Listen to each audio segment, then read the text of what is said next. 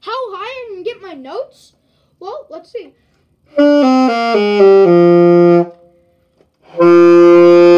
Okay, so there's that one, and oh my gosh, I made my iPad fall. See how loud that is compared to this?